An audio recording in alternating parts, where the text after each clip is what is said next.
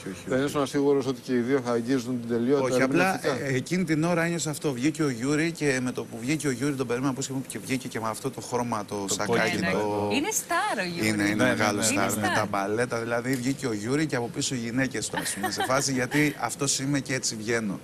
και το βλέπω και, και ήθελα να σηκωθώ να του πιάσω τα μάγουλα, να του πω αγόρι μου.